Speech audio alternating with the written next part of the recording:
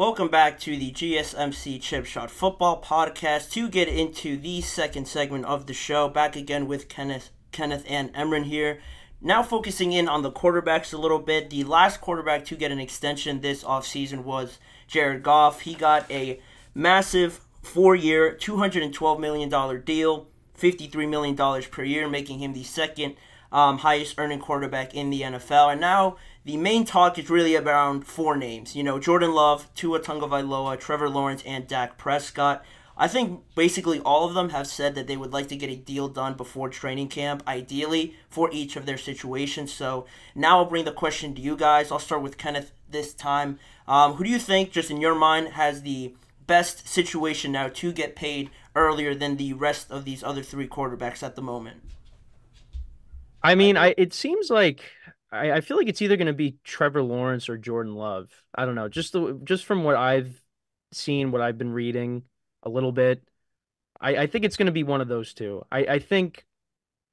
I I mean, it's tough to say again because you're not close to the situation, but that's probably my guess.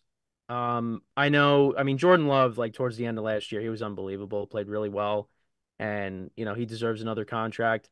Trevor Lawrence, there's some, you know, criticisms with him, especially with how last year ended for the Jaguars. I mean, I thought after they beat the Texans the second time in Houston, I thought the division was all locked up. I thought they were good to go and they were going to make the playoffs again. And that was not the case. They ended up finishing 9 and 8 and they missed the playoffs. They lose that game to the Titans. And that was a disappointing end to their season. I think part of that too was he got banged up a lot. I mean, he had like he had concussions. He had, I think, a knee injury too. I mean, he had a, a, lot of things going on, and I think that was part of it too, um, as to why the Jaguars finished the way they did. But I, I'm on the positive side with Trevor Lawrence. I think he also deserves a contract as well. Um, but that that would be my guess. I think it's going to be one of those two guys because I know we just talked about the Cowboys a little bit. I said I think Dak might be gone. Um, and then when it comes to Tua, you know, I don't want to give Tua a new contract, but it, it seems like they are going to give him that contract. So, but I that would be my guess. It's either going to be Trevor Lawrence or Jordan Love is going to be the next one to get paid. How about you, Emran? Who do you think uh, out of Tua, Jordan Love, Trevor Lawrence, uh, Dak Prescott? Or actually, I'll switch the I'll switch the question a little bit, Emran. In your opinion, who do you think deserves to be paid yeah. first out of the four that I just named? Well, I think out of all four quarterbacks, there's only one quarterback, in my opinion, that can confidently walk into the negotiation room, and I don't think there will be any hesitation from the from the front office, the opposing front office. And for me, that's Jordan Love. Based on the season he had last season, like whenever you're in your first year starting, you're looking for progression. And man, if you look at that first game compared to the last, the progression has been there. Each game he steadily improved. And even earlier when he was struggling, he still had amazing second halves and brought his team. I was very, very impressed with Jordan Love all season. What he did in the playoffs, that game, he gave me a heart attack against the Niners. Did fold a little bit at the end, but that you expect that from a rookie. So for me, he definitely, um, definitely is the one that has the biggest leg to stand on. You know, it was interesting your comments regarding not wanting to pay Tua, but still uh talking to Kenneth, but um being okay with paying uh Trevor Lawrence. I think Trevor Lawrence is a guy that's kind of been, especially um, before the end of this past season, his name has been carried about, uh, been carried by how good of a prospect he was coming in. I've never been a huge fan of him. I don't think he's a game changer at QB that you expect from a number one overall pick. I think there's been times that he hesitates in the pocket. There's been times that he just doesn't give you a feel of like, oh, this is the guy that's gonna bring us back into the game. This, yes, he did come with that comeback against um, I, I forgot who was the Chargers. Chargers, yeah, with, with that, that playoff game and went on that run to the divisional. But he's never struck me as a guy that I had confidence in going into a game with.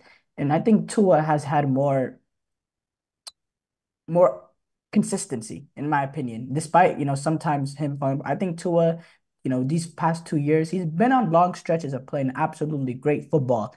In, but with Trevor Lawrence, I just don't see that sort of consistency, the way he folded at the end. And I personally, I think he's like a 14th, 15th quarterback in that caliber. And you know, there's been a lot of people that it's before the end of the last season that have him like almost top five, top six. I think that's always that's been ridiculous. I think that has a lot to do with his name. And Dak Prescott, the writing is written on the wall. We just need to read read the room. I, that's all I need to say regarding that. That Yeah. all going. And uh, you know what's funny about it? Um, you guys both made uh, good points there with Tua and uh, Jordan Love there as well. I mentioned this before on I think the show yesterday or two shows ago that it's interesting how people talk about both quarterbacks, um, Jordan Love, Tua, and, and even Trevor Lawrence a little bit here because Tua, you know, you mentioned the consistency and everything. This is the first real year that he has been healthy, so a part of me wants to think that you know he can't control the injuries, right? He can't control if he's healthy or injured the the entire year. But with Trevor, you know, he really hasn't been too injured until this last year, like you brought up, Kenneth. So you know how you you know gauge or determine how well he has been in most years when he has been healthy compared to Tua, where he's been pretty unlucky with his injuries. I think is pretty interesting to talk about, and also just before I mention my next question, Tua and Jordan Love also both coming off of their best years. Tua obviously being hurt before, and then Jordan Love not playing because you have Aaron Rodgers there. Again, it just strikes me a little bit weird how people talk about them. I think in a different light, talking about Jordan Love a little bit higher than Tua. Um, uh, and I don't know why. Just because they're both coming off of good years. You know, Tua's been hurt, but they're both coming off one good year this past year, and I just think people talk about Jordan Love a little bit higher than Tua um, for some reason that they may believe. But um, leading into my next question now with these guys, and a lot of how you gauge these contract extensions, you know, depends on how much better you think these quarterbacks can get if you're going to pay them for the next four to five years. So I'll go back to Kenneth. Kenneth, who do you think out of these four, um, you know, has the greatest room to grow and get better and give their team the best shot of maybe making the playoffs more often, maybe winning a Super Bowl eventually. Who do you think is that guy uh, out of these four? I mean, when I look at the Dolphins, I, I mean, their skill position players are incredible with Tyreek Hill and Jaylen Waddle, and then the running backs as well, Raheem Mostert and Achane. Um, but for me, I feel like with Jordan Love and the Packers, he's going to grow with his receivers. They had the youngest receiving corps in the league last year, and these guys, I mean, they're not all stars. I think the best receiver on the Packers is Christian Watson. Um, but he's dealt with injuries over the last couple of seasons. Um, but I do like Dontayvion Wicks. I like Jayden Reed, Romeo Doubs. I think all of them are going to grow and get even better. And that's something, and I and I've I've touched upon it on my show too. Just how last year they were kind of learning the offense and you know building rapport, you know, between Jordan Love and the receivers. Now it's just okay. Let's take that next step this year. And I feel like the Packers as a team, they are going to be one of the top teams in the NFC. I think they're going to push Detroit for that division. I think it, I think Detroit's going to win it in my opinion still, but I think you got to put the Packers in the conversation as one of the top teams in the NFC regardless. Um, but with the Dolphins, yeah, I'm just for me, I'm not really a Tua believer. I think he he was solid last year, and you know I was happy that you know the previous season dealt with all the concussions. I was happy that that was put behind him and he had a healthy season. But if you look at the Dolphins season, the only team that they beat with a winning record last year was the Cowboys. And the Cowboys could not beat a team with a winning record on the road. And that was a home game for the Dolphins. Uh, they struggled against the Chiefs twice. I mean, the playoff game, I mean, it was just tough circumstances, especially with the weather. But when they played against the Ravens, you know, the, the Ravens really, I mean, the Ravens destroyed them. The Bills beat them twice. You know, th th that's why for me, I'm just not really a believer in Tua in the long term. And he's one of those guys where um, the guys around you are going to elevate him. And I feel like that's going to be an issue for the Dolphins if they want to go further, um, if they want to win a playoff game. Because I did a segment on that today too. Um, you know, Mike McDaniel talking about ending the playoff drought. You know, they haven't won a playoff game in 24 years. They've made the playoffs the last two years, give them credit there, but they haven't been able to win. So I think that's going to be an issue. Um, but yeah, for me, I, I think Jordan Love and the Packers. I mean, I, I think Love's going to have another um, solid season, and we'll see what the Packers can do. Right. Same question to you, Emin. Who do you think out of Jordan Love, Tua, Trevor, and Dak has the most room to grow to sort of validate any sort of contract extension, a lot of money that they'll most likely get in their next contract? You know, I think it's funny that um this is a topic regarding mostly quarterbacks age 25 and younger, and we bring in Dak too. I think this is a kind of just an indictment on Dak. And I'm not I'm not defending him or anything. I think he deserves to be in these conversations just based on, you know, some of the great regular seasons and some of the huge meltdowns whenever it matters the most that came from him. So I definitely he's not the one. he's not the one I would uh think is on that sentence. He he shouldn't even really be in this conversation with being 30. We know what he is and we know what he isn't. And at the end of the day, he's a very he's a decent quarterback that can get you over the line. That will never be good enough to get you over the line, um, especially on the ridiculous money that he gets paid. Now with um Trevor Lawrence and Tua, I think they're in that similar boat. I think they're kind of like the peak that they could be is, you know, especially with Trevor Lawrence, I think Tua has a little bit of a next level if he could stay healthy and he could um and I don't know what's the I don't know what's the most PG way to say this, but like, you know, get some grit. I I really believe in Tua's accuracy. I think Tua is a very, very accurate quarterback. His arm strength and all that, he doesn't have the best arm, but I really believe in his accuracy and I believe in the tangibles with him. Now, Trevor Lawrence, I just I don't know. I don't know what's going on there. The, uh, you know, before the his career, he came out like he said in this article how football is, is just a hobby to him, and he kind of plays with that sort of persona, and I kind of can see that with the way he plays. I, I I don't really believe in Trevor Lawrence in that manner.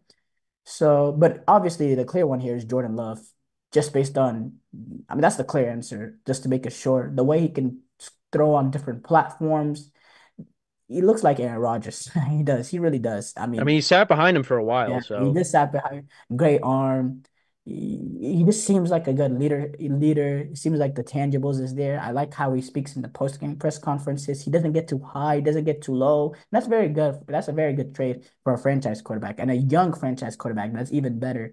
Um, everything about him just screams, you know, potential superstar in the making, and it's a little disappointing because you know Green Bay with these quarterbacks, you want to take advantage of them on a rookie deal, and well, that rookie deal is wrapping up real soon. So, but it's the Green Bay way. Yeah, yeah, I, I agree with you guys. I think just based on the uh, you know the factors and everything and how really it was a little bit weird with Green Bay because they didn't pick up the fifth year option for Jordan Love and instead they extended him um, for a cheaper deal. Obviously, it benefits them more than him, but um, I would probably agree with you guys. I think oddly enough, Dak is the quarterback that makes the most money out of all of them right now. He makes about forty million. So talking about an extension how long you want to make that and how much more you want to pay him um, is a little bit dicey there. But uh, yeah, I would probably agree with you guys there. And I think just quickly before uh, Zoom kicks us all off here, um, just your final thoughts. Give me your guys' ranking um, on all these four quarterbacks. We'll start with you, Kenneth. Rank them one to four uh, for me here as we uh, we close out this segment. Man, really, really putting me on the spot here. Uh, so I I'd probably put Jordan Love one. I'll give Dak respect, put him at two. Trevor Lawrence three, two or four. When you say this, you say based on this is like this past season, like how like a power rankings of this four. Yeah, yeah. Give me a yeah one to four. Who would uh who would you have in that order? Jordan Love one. I'd go slightly, slightly Dak two, two or three, and yeah, I'd have Trevor Lawrence dead last. Not okay, I like it. I like all right, it. We'll see how we'll see how it goes uh, for the upcoming season. Tua versus Trevor Lawrence. Are we gonna get that game this season? I don't think so, but we'll just I guess we'll compare the stats uh, and where the teams are at by the end of the year. Okay. Yeah, it should be good. Same conference. The AFC's tight. The AFC's going to yeah, be very competitive. I mean, it's absolutely loaded. I mean, there's maybe like one or two teams where you just are like, yeah, they got no shot of making the playoffs, but like, I mean, it's a gauntlet of a conference. So, but yeah, it should be a lot of fun. Absolutely, and yeah, that'll that'll wrap it up for this segment, and that'll wrap it up for Kenneth and Emran on this uh, show. Thank you guys for coming on. I really appreciate you guys giving your thoughts on the show. Yeah, it was a lot of fun, Manny. Thank you.